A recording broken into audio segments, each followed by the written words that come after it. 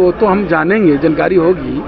समझे इसके बारे में भी हमको जानकारी नहीं हम तो बैठक कर रहे हैं। लेकिन लाठी चार्ज हुआ चाहे क्या है वस्तु स्थिति उसके बारे में जानकारी सरकार जो है संवेदनशील है सरकार उस पर देखेगी उसको लेगी उसके लिए सरकार में इस तरह की नई परंपरा शुरू हो रही है। देखिए कहीं कोई पिटाई नहीं होता।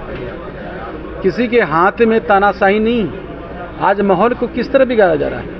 भाजपा जो जो उग्र नीति अपनाए हुए हैं उसके पास बताइए। जो बुनियादी जो बुनियादी बुनियादी मुद्दा है। बुनियादी जो समस्या है उससे उसको सरोकार है उसकी वास्ता है। क्या रोड पर हंगामा करने का वास्ता है? आपके हाथ में किसी के हाथ में है क्या? कि आप संवैधानिक शांतिपूर्वक तो देखेंगे उसके बाद उस पर टिप्पणी करेंगे? उसके बाद हम बताएँगे? क्या मामला है सर लेकिन हम किसी को सबको अधिकार है रखने का।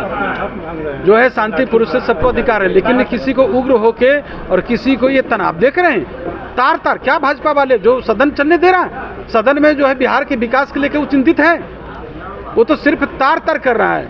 लोकतंत्र की हत्या कर रही है। जनता के सवालों को लेकर सदन में बैठ रहे हैं। जनता की समस्या को लेकर बैठ रहे हैं। चाहे किसी भी समस्या की बात करें जो है जो जो जो विरोधी जो, जो विपक्ष होते हैं उनका भी अधिक विपक्ष जो है सरकार के सब बकवास जो है ये जो है फालतू बात है ये सब चीज़ नहीं है वो हताश है इसलिए वो भाजपा अपना समीक्षा करा चुका है। उसको मालूम है कि बिना नीतीश जी के हम आगे आप देख रहे हैं इतने सालों तक के हमारे नेता के कंधों पर चल के नेता के हाथ पकड़ के वो यहाँ तक के पहुँचा था और उसकी सरकार बनी थी। अब उसको मालूम है कि हमारी सरकार जानने वाला है। इसलिए हताश है इसलिए बेचैन है।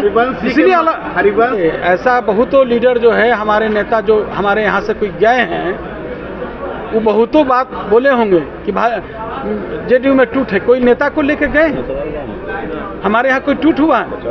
वो अपना घर बचाएँ जो लोग बोलते हैं वो अपना घर बचाएँ। बहुत बहुत धन्यवाद।